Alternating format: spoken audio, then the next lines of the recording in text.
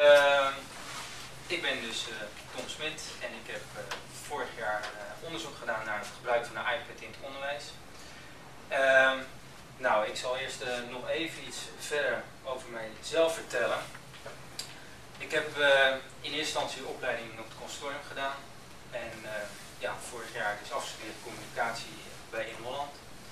Ik werk als muziekdocent op het Zegbroek College, dat is een middelbare school van MAVO tot en met gymnasium. Uh, geef ik van de brugklas tot en met 6 VWO geef ik daar les. En daarnaast heb ik een eigen bedrijf, communicatiebedrijf Com Creative. Ehm, afstudeeronderzoek dat ging over de implementatie van het onderwijs. Dat is eigenlijk het communicatieve gedeelte van, van het gebruik. Namelijk van hoe ga je zoiets aanpakken. Nou, daar ga ik straks wat meer over vertellen. Ehm, het beginscherm, dat is een afbeelding van, uh, van mijn eigen iPad, hoe die uh, op dit moment uitziet. Die heb ik wel een beetje aangepast voor, uh, voor deze presentatie. Ehm, voor degenen die niet bekend zijn met een iPad, je ziet die afbeeldingen, dat zijn eigenlijk de programma's die je kan aanklikken en dan daarmee gaan werken.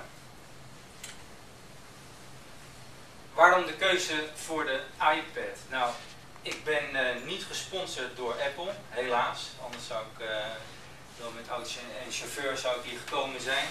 Ehm, maar er waren andere redenen. Toen ik begon, toen uh, was in Nederland eigenlijk nog niet echt een school bezig met, met onderzoek daarnaar. Een paar die waren een beetje aan het proberen, maar dat was maar een klein aantal. In het buitenland, met name Amerika, werd dat al veel meer gedaan. Bijvoorbeeld high schools in Chicago werden massaal voor miljoenen aan dollars werden iPads aangeschaft en geïmplementeerd.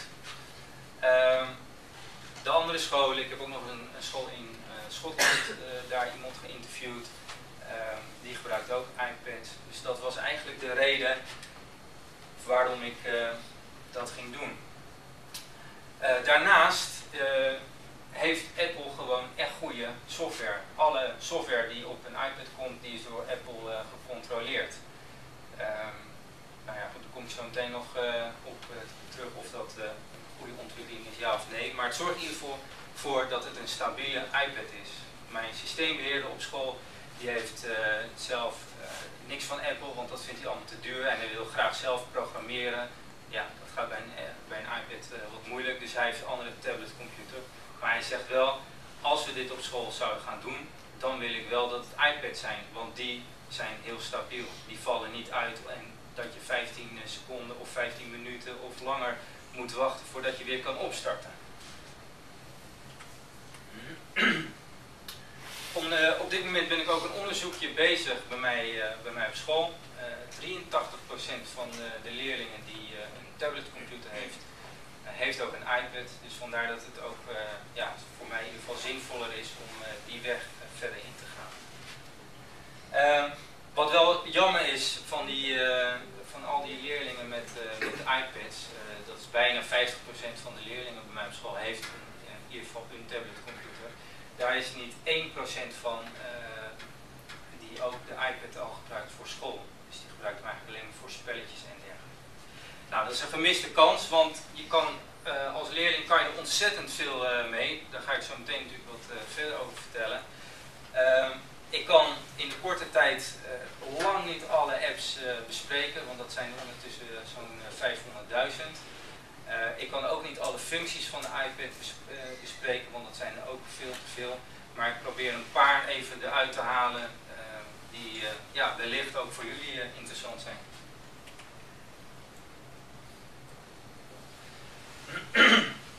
nou, ik heb hier een paar apps van de leerling. En ja, wat is nou het voordeel voor de leerling? Als we eens kijken, ja, snel opstarten. Ik weet niet dit moment hoe het snel computers hier op school opstarten. Maar nou ja, goed, aan de reacties horen duurt dat vrij lang. Bij mij op mijn werk ook. Als je vijf minuten nodig hebt om je computer op te starten en dat hij helemaal ingelogd is op het netwerk, dan, dan ben je blij. Met een iPad, ja, je zet hem aan en hij doet het meteen. Daarnaast touchscreen. Dat werkt heel, heel fijn, heel intuïtief Mijn, mijn dochter, toen ze nog geen twee jaar was, toen kon zij al spelletjes spelen op de iPad door de, over te vegen en dingetjes naar de juiste plaatsen. Dus het werkt gewoon heel eenvoudig. Als ik met leerlingen daarover praat, dan krijg ik van hun eigenlijk te horen, ja, ik zou zo graag zo'n iPad willen, want dan ben ik eindelijk die zware rugtas kwijt. Ik weet niet of jullie wel eens uh, op een stageschool zo gevoeld hebben aan een tas van een uh, brugger, maar dat is gewoon ontzettend zwaar. Er zijn ook onderzoeken naar gedaan dat het slecht is voor een groeiontwikkeling. Dus het is gewoon ja, heel goed voor ze als ze alleen maar een iPad hoeven mee te nemen. Uh, ja, geen snoeren nodig. Uh, bij een laptop heb je vaak toch altijd wel weer snoeren nodig om tussentijds uh, weer uh, bij te laden. iPad heeft een batterijduur van 10 uur, dus een hele lesdag kan je dat ding wel bij hebben en gebruiken. Ehm, er is ook onderzoek gedaan naar de, het werk op een eigen computer of op een gedeelde computer. Dat is niet alleen in het onderwijs gedaan, maar dat is ook bij bedrijven gedaan. En het blijkt dat mensen die met een eigen computer werken, veel netter werken, zuiniger zijn op, uh, op de computer.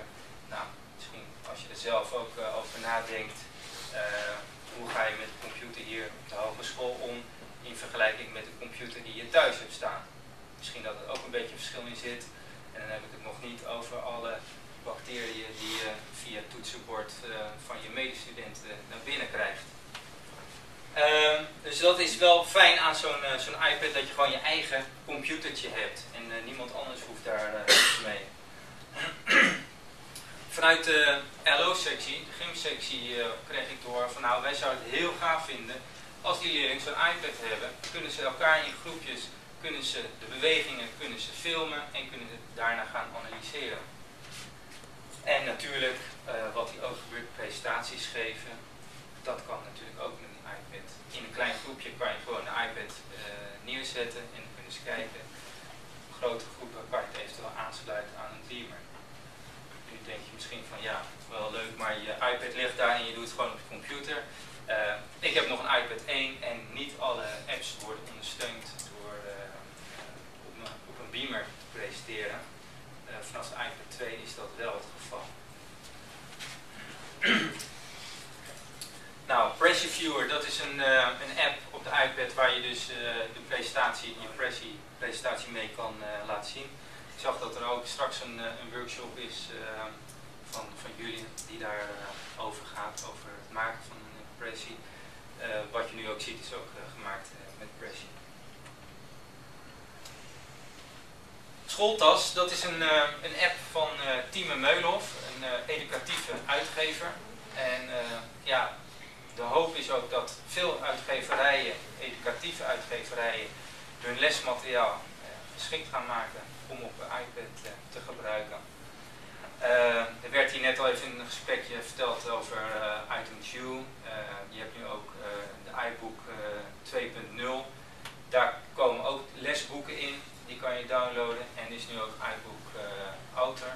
En daar kunnen, ja, kan iedereen kan dat downloaden en zelf boeken mee schrijven en dat uploaden naar de, boek, uh, de Store.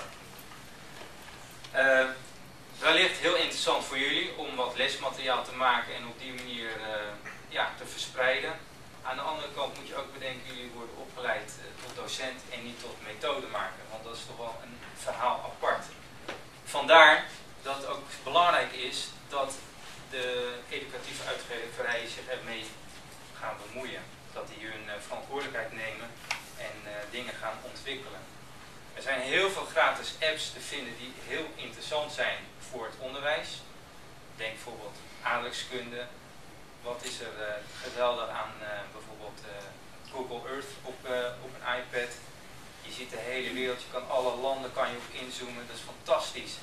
Maar het is geen, ja, er zit geen methodiek aan vast, het is niet didactisch onderbouwd. Uh, dus dat komt dan allemaal op de docent zelf aan. Op jullie straks. Ehm, Team heeft eigenlijk een soort eigen boekstore. een boeken voor VMBO die staan op dit moment op. Je kan ook al een gratis versie bekijken en dan kan je de eerste bladzijde van een paar van die lesboeken zien. Op zich aardig, het zijn alleen, uh, oh, het is voor jullie niet goed te zien denk ik. Ja, vertel toch. Uh, notities als leerling kan je maken, maar ook de docent die kan notities in zo'n boek maken en die kan dat delen met de leerlingen. Dus als je iets belangrijk vindt, kan je notitie, let even op, dit moet je extra goed leren voor je repetitie. Uh, en dan krijgt die leerling dat in zijn eigen boek te zien. Nou, dat is uh, even in vogelvlucht een aantal voordelen voor, voor de leerlingen. Ehm, je ziet ook in het middelste zie je de iBooks staan. het voordeel van iBooks is, als ik nu als docent een toets geef, dan moet ik zorgen voor, voor de mensen die dyslectisch zijn, dat er een vergroot exemplaar is. En dan vergeet ik natuurlijk altijd dat het antwoordblad ook vergroot moet zijn, dus dan heb ik daar weer een probleem. Dus het werkt nooit helemaal lekker. Met iBooks kan je gewoon heel eenvoudig even met een vingerbeweging de letters vergroten. Dus dat probleem, uh, dat is er gewoon niet meer. Nou, voor de docent natuurlijk ook uh, wel wat handige apps. problemen die collega's van mij ondervinden. Bij mij op school werken we dus niet met de iPad. Dat uh, heb je denk ik wel begrepen al ondertussen. We moeten op dit moment een computerlokaal reserveren als we iets op de computer willen doen. 76% van de docenten in Nederland maken af en toe gebruik van een computer. En volgens Kennisnet gaat het ook steeds meer worden.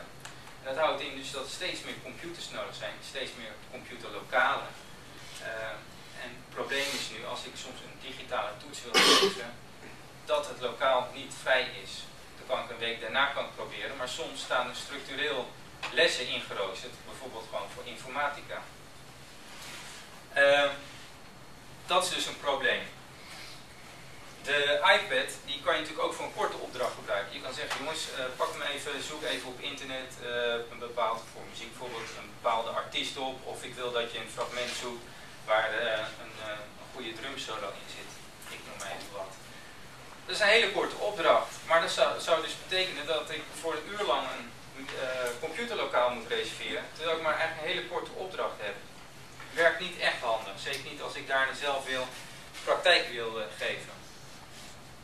Scheikunde en natuurkunde gaven aan dat er hele leuke apps zijn om digitale proefjes te doen. Dus niet de hele toestand uit de kast te trekken, maar gewoon op je iPad even een, een proefje nabootsen. Voor creatieve vakken kan je kunst creëren. Muziekprogramma's zijn er heel veel. Er zijn ook tekenprogramma's, fotobewerkingsprogramma's. en natuurlijk klassikale presentatie door de, beam, of, door de iPad op een beamer aan te sluiten, wat ik al eerder zei. Uh, wij uh, op school hebben Moodle, dat is een elektronische leeromgeving die jullie op school hebben als het goed Blackboard nog steeds. Um, Moodle werkt een beetje hetzelfde, alleen is gebruikersvriendelijker. Je kan dingen wat makkelijker vinden, is mijn ervaring. Um, ik laat er digitale toetsen, die, die maak ik daar, die kunnen ze maken en ja, meteen daarna hebben leerlingen hun cijfer. Vanmorgen nog zo'n toets gegeven ja, dat is uh, even werk om zo'n toets erin te zetten, maar uiteindelijk, die leerlingen die maken zo'n toets en uh, ja, je hebt er geen omkijken naar. En je kan daarnaast ook nog de na afloop analyseren, wat wel interessant is. Huiswerkopdrachten kan je opzetten, is een leerling ziek, kan niet altijd daar vinden, hoeft hij niet aan klasgenootjes te vragen. En digitaal huiswerk inleveren, dat zorgt ervoor dat jullie straks niet met zulke grote tassen naar huis lopen te zeulen met al het nakijkwerk, maar dat het gewoon in je iPad tevoorschijn komt of op de computer. Uh, wij gebruiken Maestro, de magister, uh, leerlingvolgsysteem. Daar doen we ook absentenregistratie doen we in, cijferadministratie. Je kan ook een klasagenda inzetten, dus een leerling